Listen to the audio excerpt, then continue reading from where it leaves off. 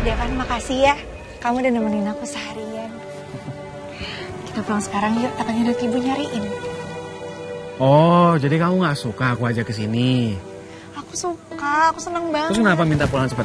Ya udah mau malam, tuh kamu lihat udah hujan lagi. Oh iya, aku nggak tahu terima kasih sih, parah banget sih. Tadi kan aku bilang makasih. Sengaja ngomong gitu kan biar lebih enakan gitu ngomongnya. Enggak, Van. Kamu mau ya bikin ibu khawatir? Iya sih. Mau balik ya, Gil?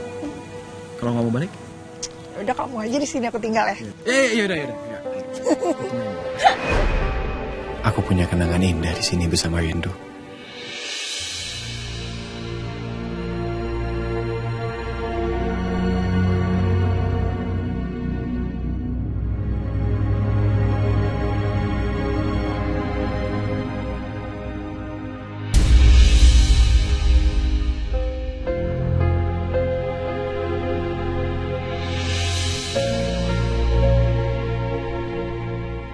Devan?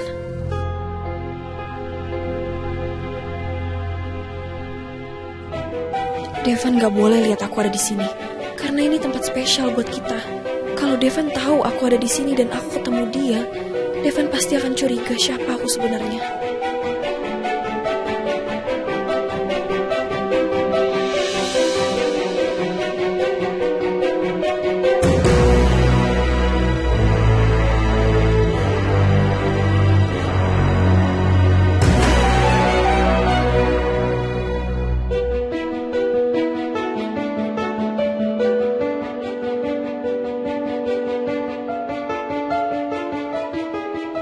Cinta kita indah di masa lalu, saat aku adalah rindu.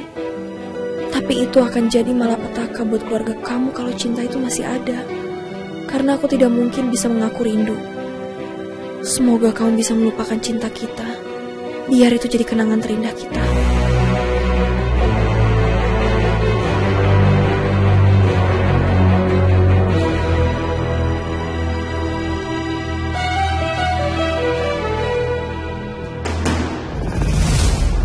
Kak Suci! Berhenti!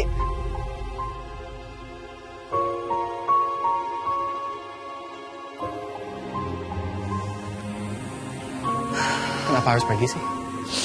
Udah Devan biarin aku pergi ya. Aku nggak akan biarin Kak Suci pergi.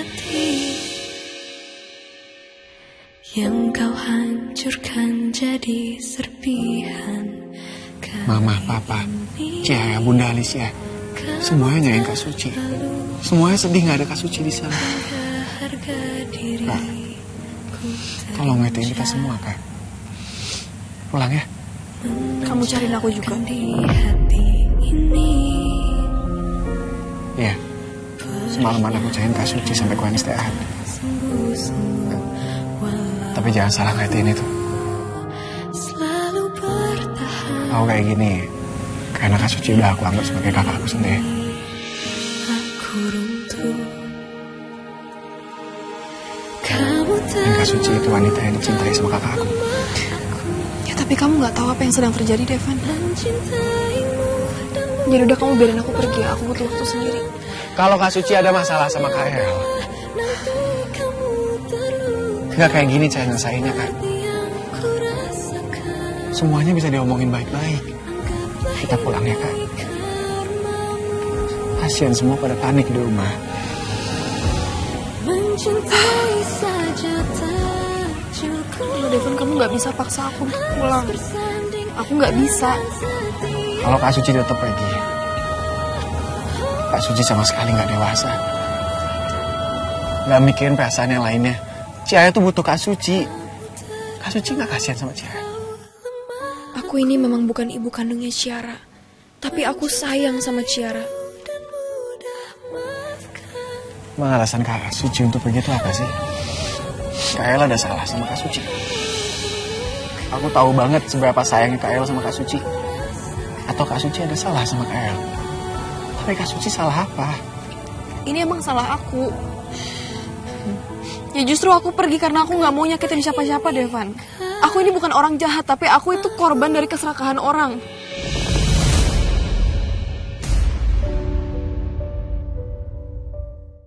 Tonton tayangan favoritmu mulai dari sinetron, film, hingga siaran olahraga di mana pun dan kapan pun. Semua ada di video. Yuk download aplikasi video sekarang.